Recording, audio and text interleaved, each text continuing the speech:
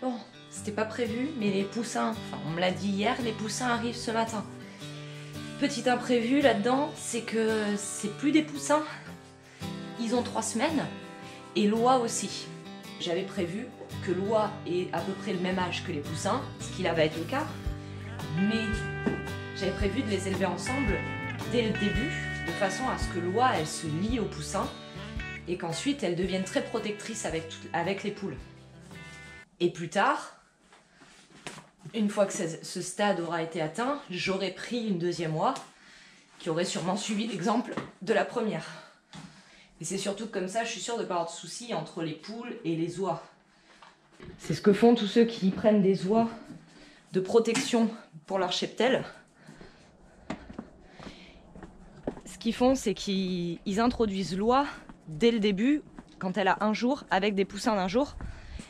Et ça permet de créer ce lien nécessaire.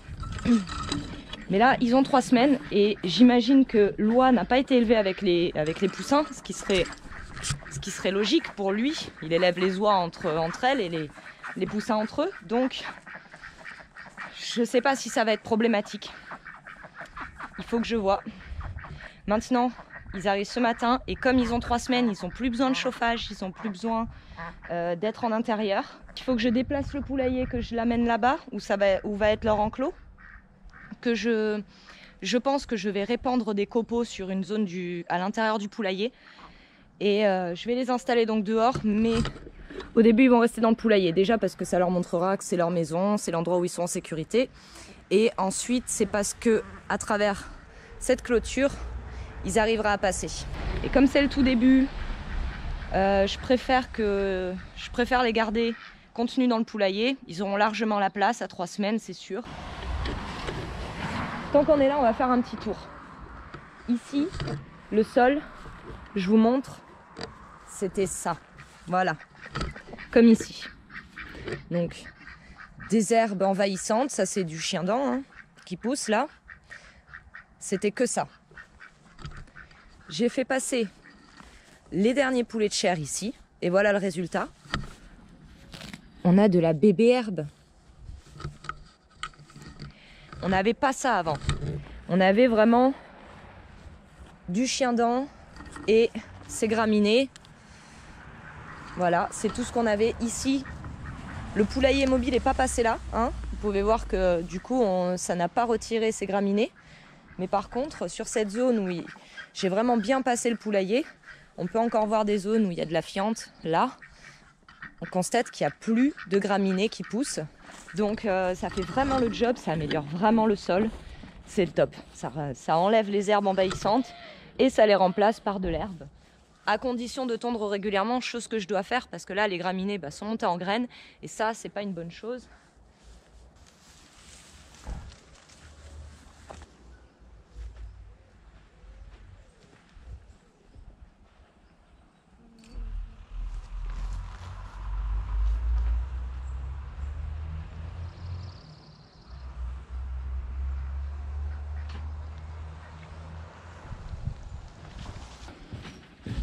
J'avais préparé ici donc. Et eh ben ça sera pas utile. Alors comme j'ai pas besoin des copeaux finalement parce qu'ils sont assez grands, qu'ils vont pas vivre en intérieur, je vais les récupérer, les mettre au potager parce que si je les mets en poche là maintenant ça va, ça va prendre trop de place tout l'hiver jusqu'au printemps prochain, ça sert à rien. Autant que ça me serve pour les allées du potager. Et euh, il faut que je récupère mangeoire. Et je vais quand même leur mettre ça pour l'eau, ce sera plus propre vu qu'aujourd'hui aujourd'hui il pleut. Et que je vais quand même leur mettre un sac de copeaux, je pense un, voire peut-être deux, dans le poulailler. Bon, je laisse ça là. Quand ils seront là, quand ils seront là, je leur apporterai de l'eau magique. Je mettrai la nourriture à ce moment-là. Je vais leur laisser le choix. Je mettrai la nourriture sèche là-dedans et humide là-dedans. C'est juste le temps de la transition qui s'y habitue.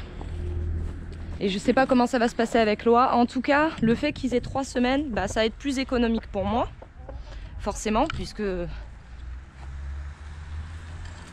devrais pouvoir retirer trois semaines de nourriture de mes comptes.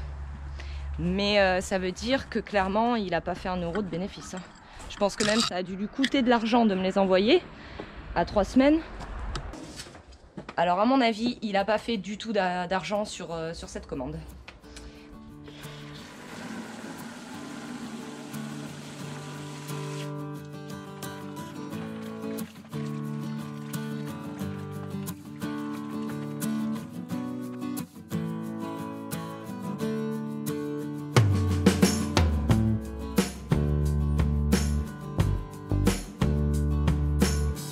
Bon ben ça fait beaucoup plus de colis. Et là, on n'a pas qu'une noix. Hein. On a... Je pense qu'il y en a deux. Bon, je vais sortir un par un des cartons et je vais les compter. Bon, ben ils sont pas si grands que ça, ça va.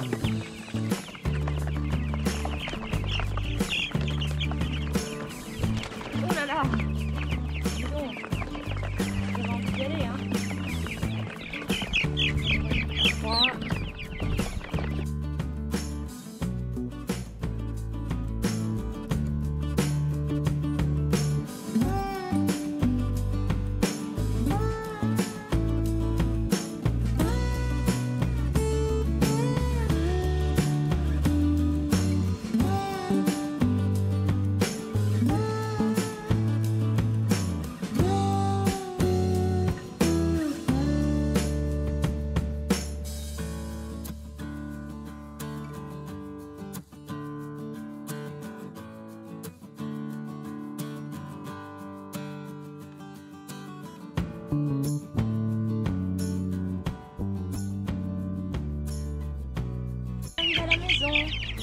Voilà. Voilà, donc déjà 40 poussins. Maintenant, je vais voir pour mettre les oies avec eux. J'espère que ça va aller.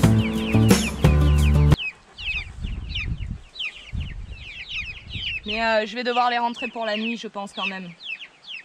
Les températures descendent en ce moment, donc je pense qu'il va falloir que je les rentre cette nuit.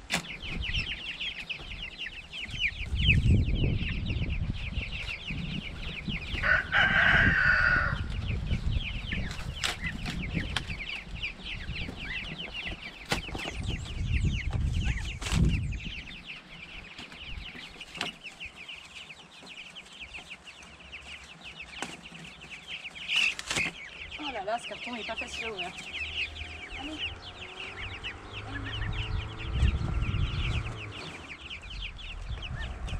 Allez, descendez.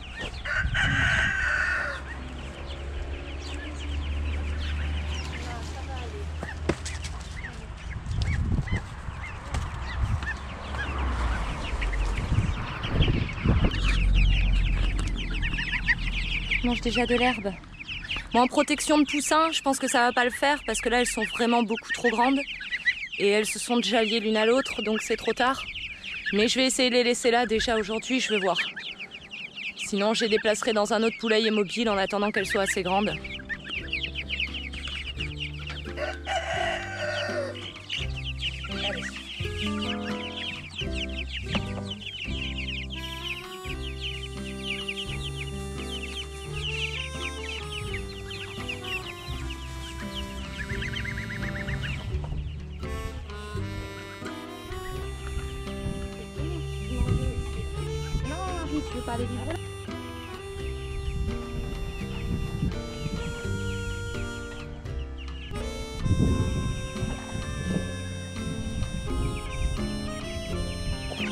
La, différence de taille, c'est monstrueux.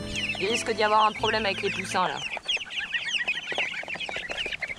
Bon, il y a quand même de l'espace pour se déplacer, donc je pense que ça devrait aller. Curieuse. T'es curieuse de quoi, toi De la bouffe Mais j'imagine.